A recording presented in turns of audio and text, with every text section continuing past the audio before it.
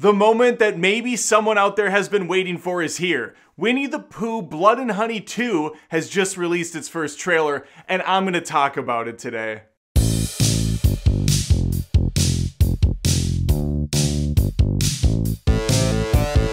Before I really dig into this honey pot, I would appreciate if you threw a subscribe my way. I post a lot of movie commentary every single week. Be great if you stuck around because of the honey let's talk about this. First off, I want to start with a compliment. Uh, Winnie the Pooh Blood and Honey is a great title for a horror film. It was the best thing going for the first film and really nothing else.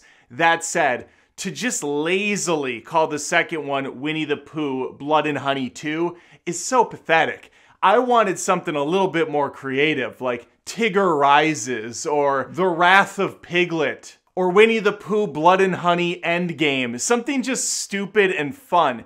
Because the biggest problem with the first film is it was stupid but not fun at all. They took a property that was not renewed in time and they ran with it. They were able to churn out a garbage film on a shoestring budget and the results speak for themselves. Now they're back, not even a year later with a sequel, and that doesn't scream high caliber, right? It doesn't scream, we're putting all of our best eggs in this basket. No, but let's see what the trailer has to offer. I'll give my thoughts as it goes. Okay, instantly I can tell you this movie looks far better than the first. I believe the budget was a million dollars this time and not 10,000 or 2,000 or $2 like the first one was. And you can see it on the screen. So they are making use of the cameras, they're making use of that increased budget. It appears we're following a young Christopher Robin, who's played by a different actor this time around. Gonna be diving into his psyche, gonna be diving into the backstory of Winnie the Pooh. There's even a young Winnie the Pooh on display here. Boy Pooh,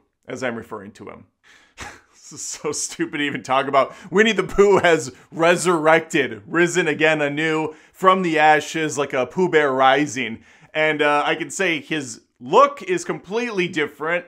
Nothing like the first movie. Piglet's back in the mix. Tusk's no longer there. We got Tigger in this one. Owl's in this one. I mean, it looks like they're putting in at least a little bit of effort. Visually, far better. It looks like the gore, the bloody kills, everything has been very much amplified this time around.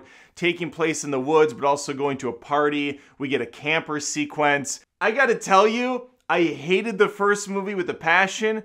This looks like there is at least a small amount of effort being put in. It's not the schlocky trash they put out the first time.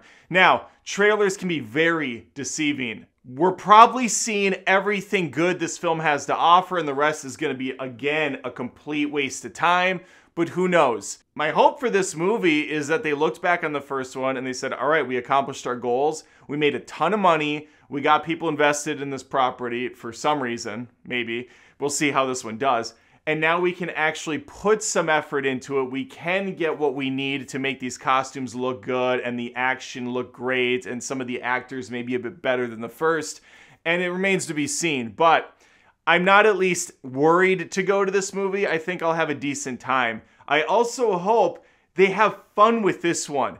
Give me some poo puns. I want to hear an oh bother. I want there to be at least a little bit of tongue in cheekiness to it. The first one is just so serious the whole time, and the concept's so ridiculous, it just doesn't work out. It doesn't match up. But I want to hear from you. What do you think about Winnie the Pooh Blood and Honey 2? No fun little subtitle or anything. That's just what it is. You think this one looks great? You think it looks at least a little bit better than the first? Let me know. Leave a comment below. Please like the video if you like the video. Subscribe if you love the video. I'd love to have you stick around. I post movie commentary, reviews, roasts all the time. It would be great to have you stick around the channel. All right. Hopefully, I see you next time.